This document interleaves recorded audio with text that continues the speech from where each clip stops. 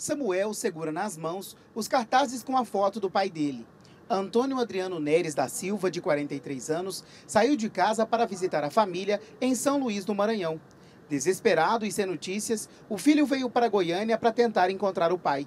Ele conta que seu Antônio não tem passagem na polícia, não bebe, não mexe com drogas ilícitas nem fuma. E mais, não tem nenhum problema de saúde, o que causa mais angústia aos familiares.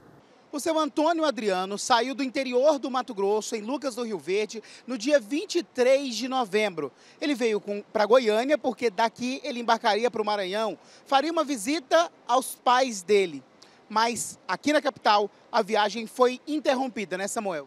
Positivo. Ele saiu dia 23 de Lucas do Rio Verde, veio para a região aqui de, de Goiânia. Quando chegou aqui, meu pai desapareceu.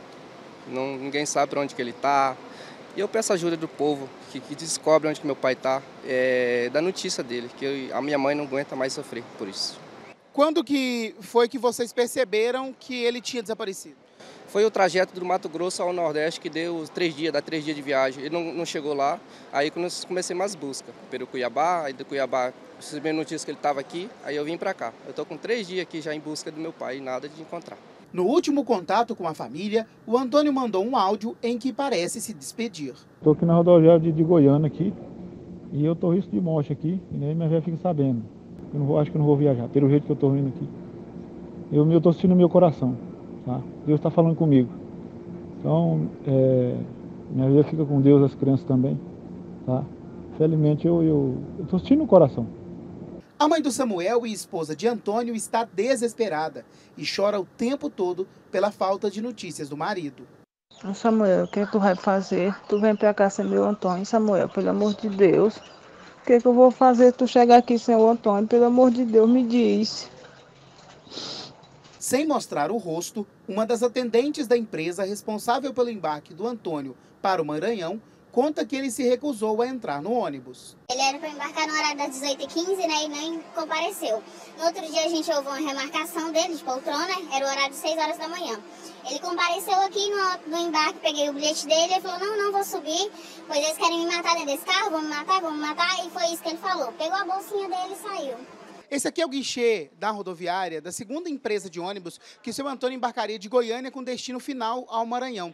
Aqui ele deixou aquela mala verde, que é a que ele transportava. Deixou por aqui e é também um fiozinho de esperança para a família Samuel. Ele deixou a mala, vocês acreditam que ele pode estar vivo, né?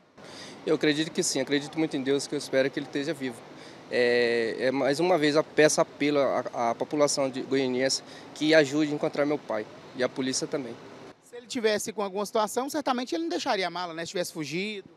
Com certeza, é o que os meninos me falou. Ele, ele deixou a mala, só levou a bolsa de, de colo mesmo, e a mala ele deixou. O caso foi registrado na Polícia Civil do Mato Grosso e também no Grupo de Investigações de Desaparecidos de Goiânia. O caso já foi registrado na Polícia Civil e as imagens das câmeras de monitoramento aqui do terminal rodoviário de Goiânia devem ajudar para elucidar os últimos passos do seu pai, né, Samuel? A única coisa que eles me falaram é que tá, já está no caso, está trabalhando no caso e é, mandou eu aguardar. Eu estou aguardando, vamos ver o que, que a polícia tem que a, a me falar. Eles falaram que estão analisando as imagens, é isso? Isso, eles falaram que está em busca das imagens. Hoje à tarde já vai me dar as imagens para mim olhar o que, que aconteceu, se ele realmente saiu daqui com alguém ou saiu sozinho.